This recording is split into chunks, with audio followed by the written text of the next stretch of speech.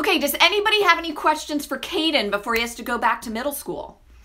Yes, Michaela. Lockers, good one. Caden, tell them all about lockers. Okay, yes, you're gonna need to get a lock. Combination lock, oh, forget it. Okay, they're easy if you practice it. It's like two to the right, then the left, past the zero, and then it opens. Oh, it's two to the left, then the right? Twice? What? Those things are freaking hard, man.